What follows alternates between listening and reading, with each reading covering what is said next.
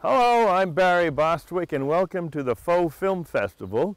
And uh, this evening, you're going to see a great movie that I was in uh, called The Selling, and um, starring uh, Gabriel Diani, uh, uh, uh, who's a very talented young man who also wrote the script, and who I'm doing a I'm doing a web series with right now called Research, and. Um, we're five days into shooting, got one more day tomorrow.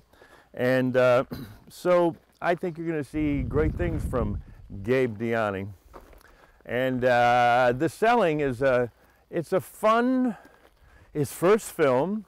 And, uh, and it's, uh, I'm just so proud of the guy, you know, he's, uh, he, he's invested a lot of time, energy, and talent into this film, and um, I think it's just delightful.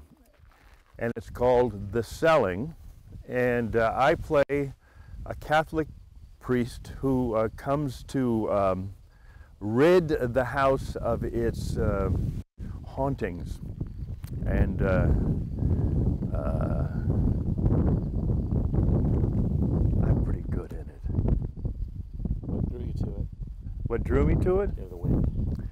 What drew me to uh, to it? Um, you know what always draws me to these kinds of movies is just the talent behind it, the the the energy, the exuberance, the the uh, sense of humor that these guys got. I've been I've been working on a lot of these independent features in the last couple of years, mostly because of the material, and um, uh, and because uh, they, uh, they offer me an opportunity to communicate with and, and to be a part of, uh, of our industry, show business, that I normally wouldn't be at my age. You know, I wouldn't have that kind of um, introduction to these guys right out of college, you know, who are sharp and uh, owe a lot of money to uh, uh, college loans. So uh, I'm just happy that I can be of some help to them and, and also, uh, you know, mentor them a little bit if that's possible. Um, uh, the selling.